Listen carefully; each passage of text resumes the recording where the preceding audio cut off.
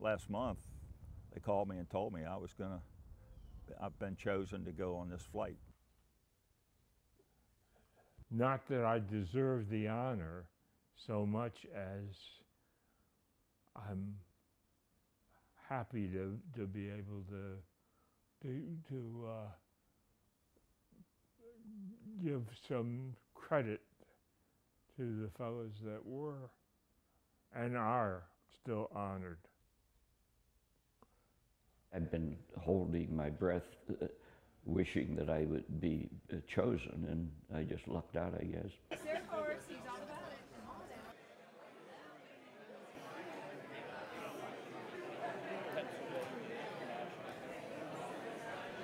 So today, we have four World War II, we have 12 Korean War, and nine Vietnam veterans going with us.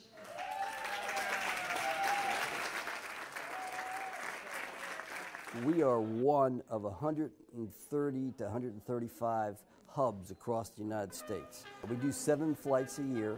Each flight we take 25 veterans and 25 guardians with six staff to see their memorials and to be thanked for what they, had their service to their country.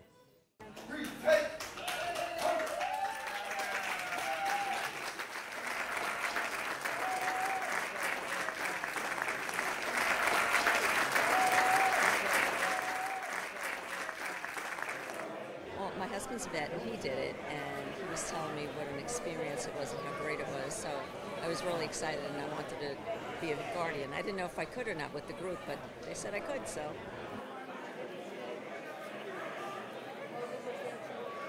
It started with a retired Air Force physician's assistant.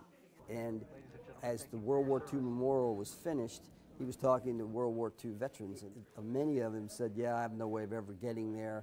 I can't get there. So he was a member of the uh, flying club, the local flying club. So he started by asking other members of the flying club to fly veterans to Washington, D.C. And the very first flight were in private little airplanes, and they took 12 veterans to Washington, D.C.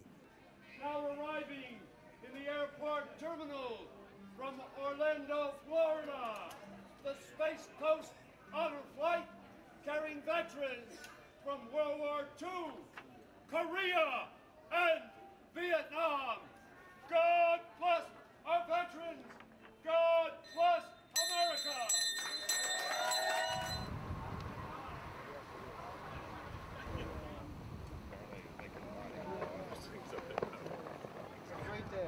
Thank you for your service. It brings back a lot of memories.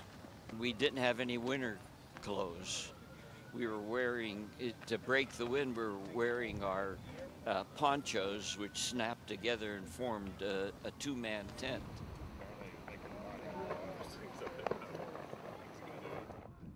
Best day of my life today, as far as the military goes. Nobody's shooting at you. Nothing. It's I'm happy. I'm happy to be home and see these great memorials because I've I haven't seen a lot of them. I thought it was something I should do before I die.